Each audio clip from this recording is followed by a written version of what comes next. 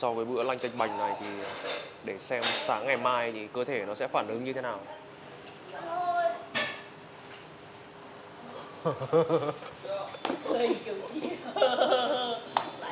Ngon vãi đấy. Chưa bao giờ bánh trưng rán và mì hảo lại ngon như thế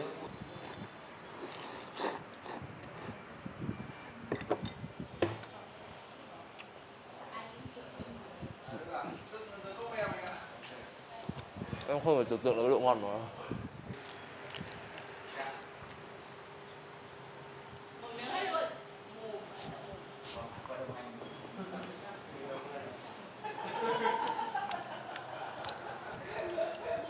Như mai thủy luôn nhưng mà bây giờ cơ bản là không biết để bên này Cơ vào sau đi Sơn ạ. À đây hả? ấy bắt đầy hết lấy cái khăn lau đi là được mà. Anh đây là chị trang rồi có cuồng cái lên đi. Ok, chào buổi sáng mọi người.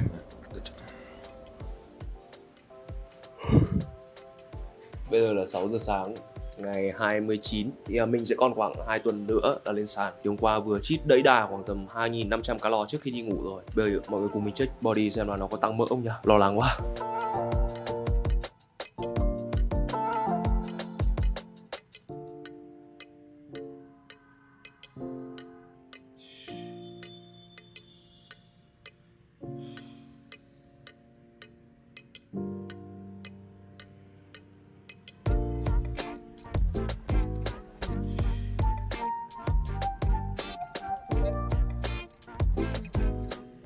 Ok, hôm qua đã cheat meal mấy nghìn calo trước khi đi ngủ rồi thì hôm nay sẽ lại quay về chế độ ăn uống diet bình thường thôi. Lại quay về chế độ low carb một chút để um, cho nó yên tâm. Về chế độ ăn mọi người có thể tham khảo thông qua vlog 3 workout của mình. Còn um, nó cũng không có gì thay đổi trong ngày hôm nay cả cho nên là tua nhanh đến buổi tập cùng với cả Mạnh nhá. Vlog 2 workout. Hôm nay có sự tham gia của em Mạnh C7 Mạnh thì là yếu nhất cái phần last này. Là anh độ last cho em buổi này buổi thứ mấy nhỉ? Buổi thứ hai. Năm ngoái một buổi, năm nay một buổi. À không năm ngoái hai buổi. Ôi hôm bây giờ mình nhớ hầu như ờ, đến đây lúc nào cũng tập lát. Nó tập xô à. để anh anh sơn anh sơn bơm cánh cho. Chắp cánh ước mơ. Body của mạnh cái mục tiêu body của bạn ấy thì là khác với cả những anh em thi đấu. Bạn ấy uh, hướng đến kiểu một cái nó nó fit nó body fit. Nó kiểu finish model ấy. mình muốn ờ, mình thực ra là cái ờ, theo cái ờ, sở thích của từng người thôi. Đúng có rồi. những anh em thích ờ, kiểu gọi là cơ bắp lớn khối lượng cơ bắp lớn và thích gọi là khỏe. Nhưng mà cái ờ, thiên hướng của mình là theo gọi là khối lượng cơ bắp linh hoạt và nhanh nhẹn. đấy. Bạn ấy tập thường là sẽ chú trọng vào cả kích thích slow muscle fiber và uh, fast muscle fiber cả có cơ co giật nhanh cả có cơ co giật chậm. Thì bạn này là bạn ấy thường là thiên về cái việc là sức bền cơ bắp hơn. Anh tập thì lúc lúc nào cũng phải có supporter. Đúng rồi. Không tập một mình được. Em nhìn mấy bố tập thi đấu gì có ai tập một mình được đâu. Chuẩn luôn anh ạ. Xuống còn chơi đét đúng rồi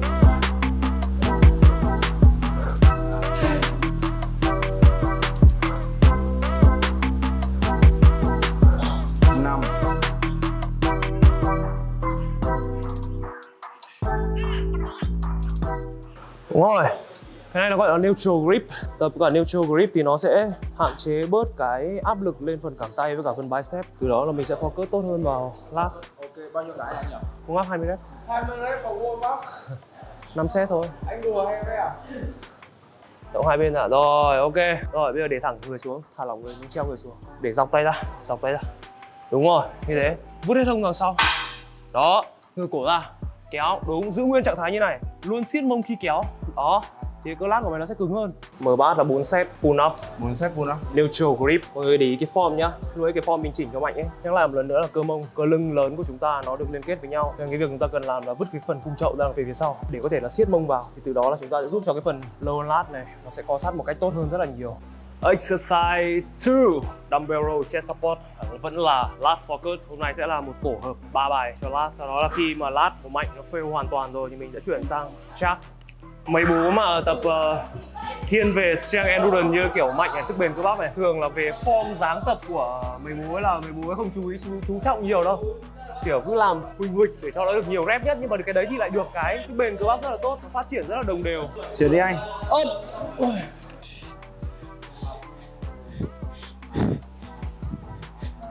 Chest support dumbbell row. Cái form thay đổi một chút thôi tập chuẩn form cái là nó sẽ focus vào nhóm cơ mà mình muốn.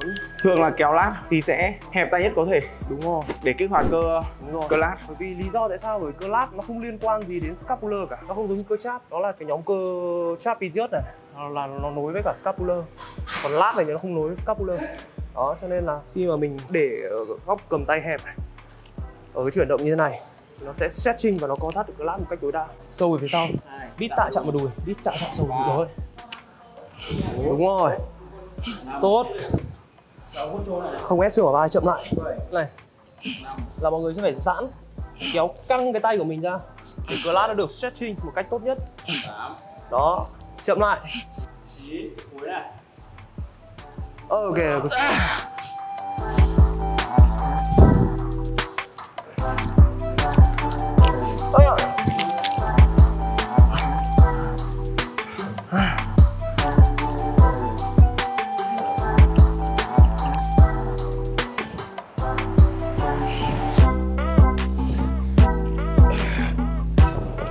men physics thì là cần cái tỷ lệ vai, eo và lưng phi thường. Với cả một cái điều đặc biệt nữa ở đây là gì? Mọi người ờ, nhìn đây nhá. Anh sơn thì năm ngoái ờ, có bị chấn thương là bị bị sao anh nhỉ?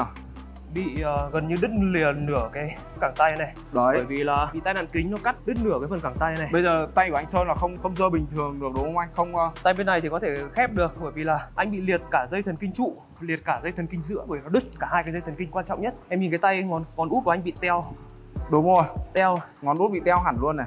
Và cái tay của Đấy. anh nó không khép được như thế này. Nhưng mà anh sơn vẫn chiến đét với mọi người nhá. Không không khép được.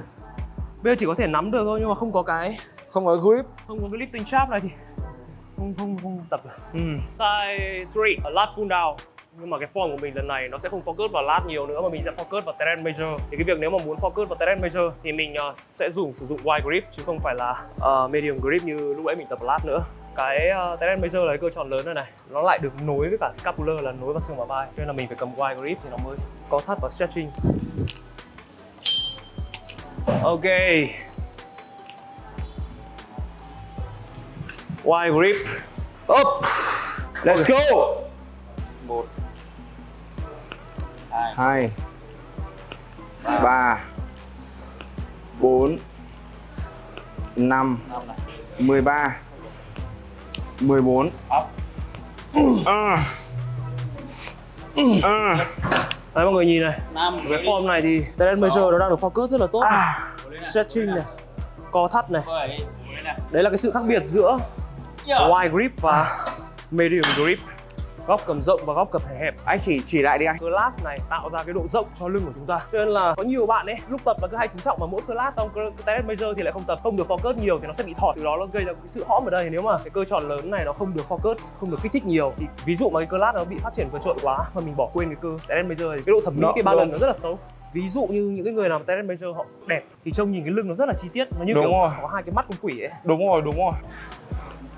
Bảy tám hít chín mười hít mười một mười hai mười ba mười bốn mười lăm. Yeah. Ba. Căng căng căng căng. Hai. Ok good job. Hai cái nữa. Tiếp. Absolute fail luôn. Tiếp ba. Hai last one. Oh yeah. Cái thanh niên này là cái thanh niên mà tập gym duy nhất mà mình biết là rất là tích cực không hề có một tí toxic nào mặt lúc nào cũng nhăn nhăn nhở nhở lúc nào cũng rất vui vui tươi và hòa đồng. Nên là bận như nào thì bận lúc nào? Có thể dành thời gian cho cái thanh niên này được. Bảy. Nên chơi. Side four.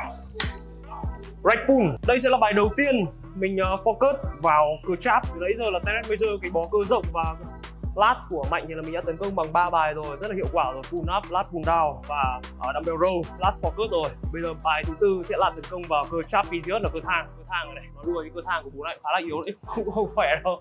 Đúng cơ rồi. thang mỏng lắm. Cái bài right pull này ấy thì là tí nữa vào việc thì sẽ hướng dẫn form sau. Ốp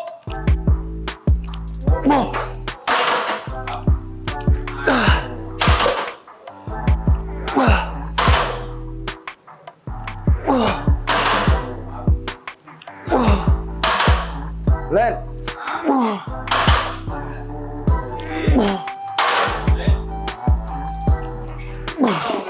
Ok. Đúng rồi bài này là phải chơi nặng. Ấy từ từ anh hướng dẫn form đã. Cái bài này muốn focus được vào chap cái biên độ chuyển động tốt hơn thì mình cầm wide grip ngón út của em ra ngoài này. Ok đứng sát lên. Phần cơ giọt nước chạm vào cái thanh ba. Khép chân vào một tí nữa. One từ từ chậm. Ép chap vứt xương vào vai đúng rồi. Good. Không đổ người ra phía sau mình ép chap chứ không phải đổ người ra phía sau. Đúng rồi như thế.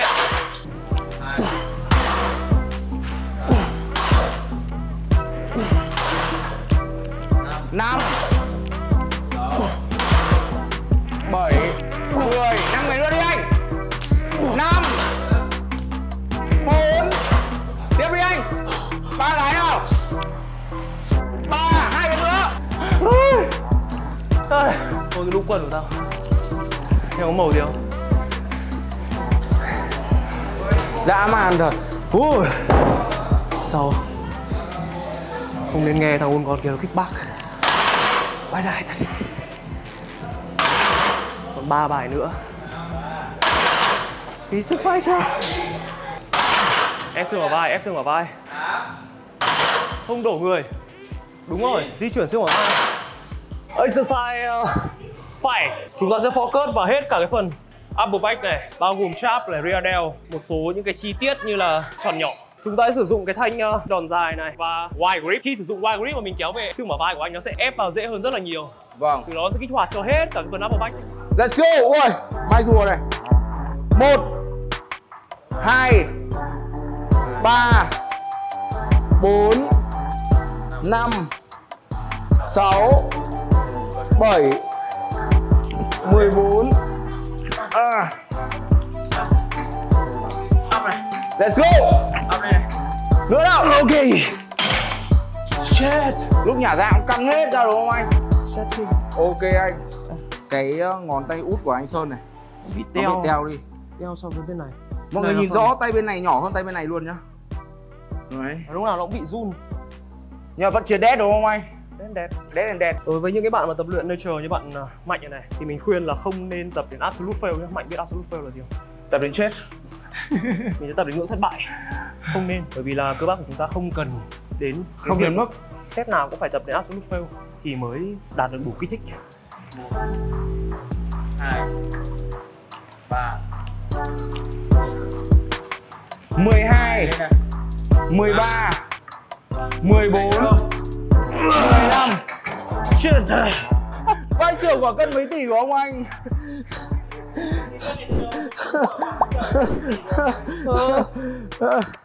Sao nào Thế phải bao kiếm cân. bao tiền rồi đấy? Từ từ. Sao nó không lên nhỉ? Đây mọi đây rồi đây rồi đây Ờ, rồi. xuống xuống xuống xuống xuống. Xuống ok. Lên lại nào. Lên lại. Đây rồi. Đấy bây giờ mới chuẩn. Ôi còn có 7 719 rồi còn có 72 tập với anh Sơn bĩnh ra mấy bịch rồi. Còn có ẻ ẻ. Ẻ ra mấy bịch rồi. Anh Sơn bây giờ hơn mình tầm chục cân. Chục cân mà toàn, toàn là cơ. Thì các anh em mới hiểu là cái đống thịt này mà thái ra làm sashimi thì cứ phải gọi là có thể làm đủ đủ làm cả sushi nữa. Ăn thì ok set cuối nào let's go. Ok. One two three nine ten five more. Five. Four. Four. Three. Two. Sâu. Go. Finish it cháu xem mình tập đứng lắm trước tập anh có bình oxy mà anh? Có có. Có bình oxy. Vẫn là focus vào trapezius là cơ thang. Nhưng mà ở bài này thì chúng ta sẽ cầm vào cầm reverse grip underhand grip cầm ngửa lòng bàn tay lên. Ok anh. Em nhìn này khi mà ngửa lòng bàn tay lên anh kéo này rộng nách ra này. Em thấy cơ cháp của anh nó ép từ upper cháp xuống đến lower cháp luôn không? Ok anh. Đó. Mắc tạ. Mắc tạ. Mắc mắc anh Chơi Sơn vẫn là chơi mắc luôn nhá. 8 9 10 11 12 13 à. Ok. Một cái nữa. Ok. Fuck.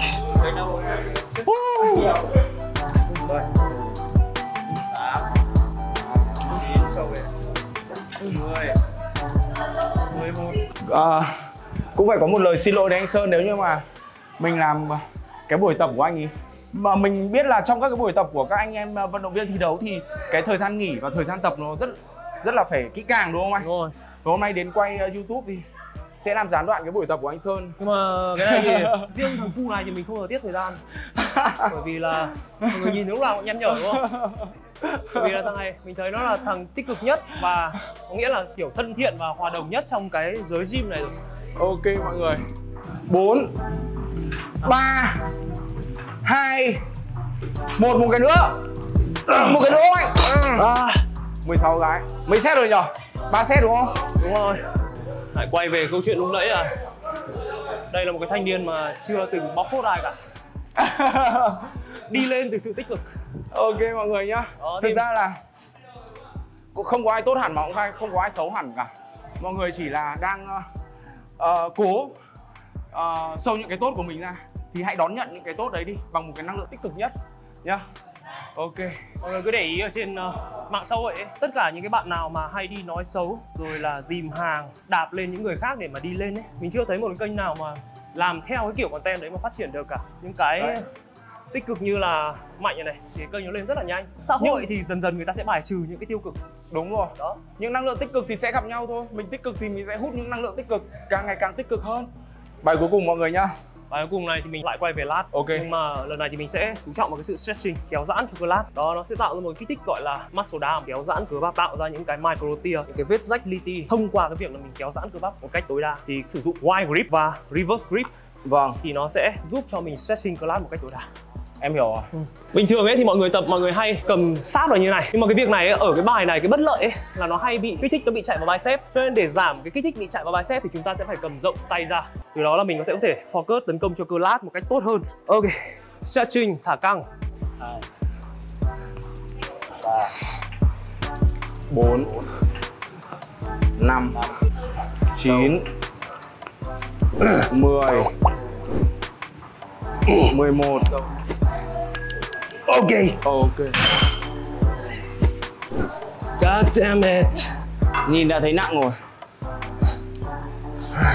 May may mà hôm nay có cốt nam. Có cốt nam. Hỗ trợ hai anh em. Không thì mệt đấy. 8 9 là căng. Hai cái cuối nhá. Rồi. À. À. anh có hay ngâm đá không? anh Ngâm uh, nước đá. lúc booking thôi. Lúc booking còn ờ, trong cái giai đoạn mà mình đáy để body fat mà. Nó vâng thấp. Cái thứ hai là mình tăng thâm hụt calo rất là sâu. Các cái tế bào miễn dịch của mình nó không nhận đủ năng lượng. Vâng. Nó rất là yếu yếu hơn so với bình thường rất là nhiều.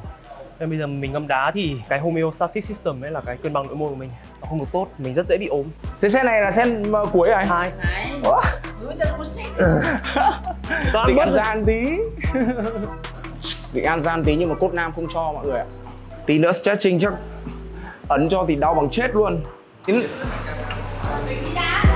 mười. Mười một. Hít. Oh shit Woo. ok vừa tập xong rồi. Bây giờ mệt bở hơi tai đúng quần vàng khè rồi. Trước khi sang đây uh, phải đóng bỉm để tập với anh Sơn.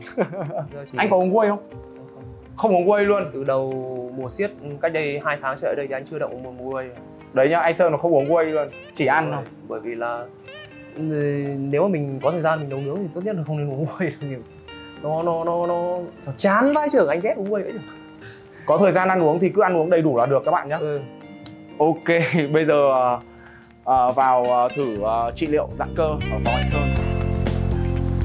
Mình xuống sâu bao nhiêu nó sẽ kích thích thay đổi đến từng nhóm cơ khác nhau. Mình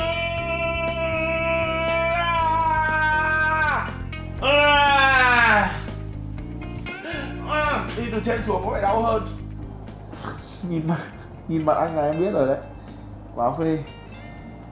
Khi mà giãn cơ này, thực sự là phải hiểu về giải phẫu mọi người nhé thì giãn cơ nó mới hiệu quả được. Và giãn cơ cũng là một cái phần rất là quan trọng để cho cơ bắp phát triển và khỏe mạnh hơn. Giãn cơ này cũng là ờ, gì nhỉ? Thử sức chịu đựng thử ờ, thử thử ờ, tinh thần chịu thép đòn. đấy. nhá khả năng chịu đòn đấy nhá. À! Dạy học trong kia mà thấy kêu váng đất váng ở đầu hai tiếng đồng hồ. Thì như nào rồi? Anh có phỏng vấn gì không? Feedback cho nào. Xem là là sau khi mà trải nghiệm ờ, dịch vụ deep tissue của AS Infinite thì là cảm thấy như thế nào vừa mới ngồi dậy phát là cảm giác người nhẹ bẫng luôn. Bước chân chạm chân xuống đất phát cho các bạn bạn cảm giác kiểu như người có thể bay được như tôn ngộ không luôn. Phê mà cảm giác như là nhá giãn xong phát người cơ phồng ấy. Ừ. cảm giác như là các cái mạch máu của mình nó lưu thông. Nói Đấy, tuần hoàn rất là tốt. Ngày mai sẽ là một ngày xả hơi của mình một ngày gọi một ngày nghỉ. Bình thường thì mình sẽ tập tất cả ngày trong tuần. Đấy. Nhưng mà sau cái buổi à, trị liệu giãn cơ sâu ở phòng của anh Sơn này thì cảm giác sướng quá. Ngày mai nên nghỉ đúng không anh? Tối nay là xác định là ngủ như chết luôn rồi. Ngủ sướng luôn. Bởi vì Đấy. là các cái bó cơ của mình nó được mềm ra. Được mềm nó được hết căng thẳng được đúng lưu rồi. thông. Tuần hoàn máu nó tốt hơn thì mình ờ, sẽ ngủ ngon hơn cộng với cả là nó phục hồi cơ bắp tốt hơn Vâng. nó recovery tốt hơn. Bản chất là khi mà mình tập luyện thì đấy những cái tế bào sợi cơ của mình ấy, nó sẽ hình thành lên những cái điểm trigger point nó bị căng mà căng nó quá cứ gồ lên những cái điểm thì nó nó gọi là điểm đau đấy. Thì bắt buộc là cái đấy mình phải giãn ra. Cái điểm đau ấy nó càng to nó càng to mà mình không giải quyết nó thì có thể là nó sẽ dẫn đến cái tình trạng là nó sẽ chèn ép lên cái dần kinh. Và nó làm cho Vâng. mình bị tê bì đau mỏi. Đó và tập nó cũng rất là nhanh mỏi. Ok. Cảm ơn à, Nam rất là nhiều. Cốt nam cốt nam. Cốt Nam rất là nhiều. Cảm ơn anh Sơn rất là nhiều. Trải nghiệm ờ, dịch vụ đấy ờ, giãn cơ chuyên sâu tại ờ, phòng anh Sơn nhé. Ok. Sướng quá. Em cảm ơn anh. Ok, cuối cùng thì cũng hết ngày. Mạnh nó vừa về, bây giờ mình sẽ ăn meal cuối. Đây là mấy giờ? 10 giờ kém 15 rồi. À, Show cho mọi người xem lát meal của mình. Ở đây nó sẽ có 250g tilapia Cá trắng white fish. Cộng với cả Happy view một uh, 150 gram uh, sweet potato khoai lang khoai lang mật. Và ở đây sẽ có bơ đậu phộng.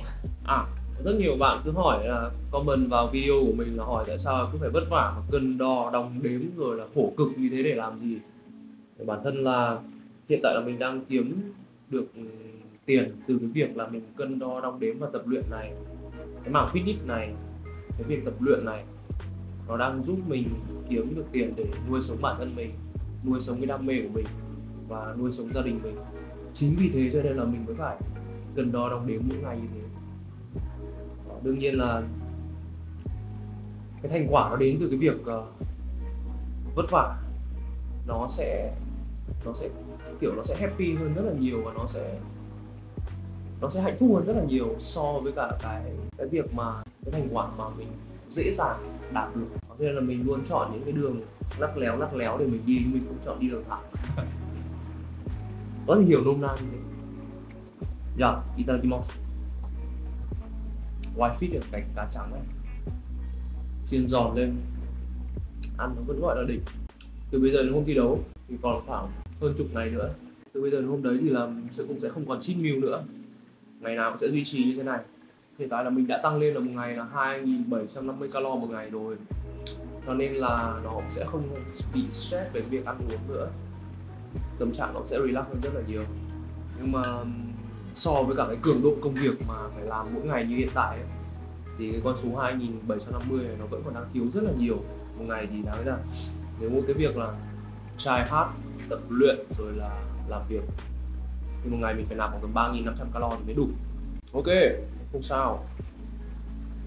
Cố gắng. Sắp xong rồi.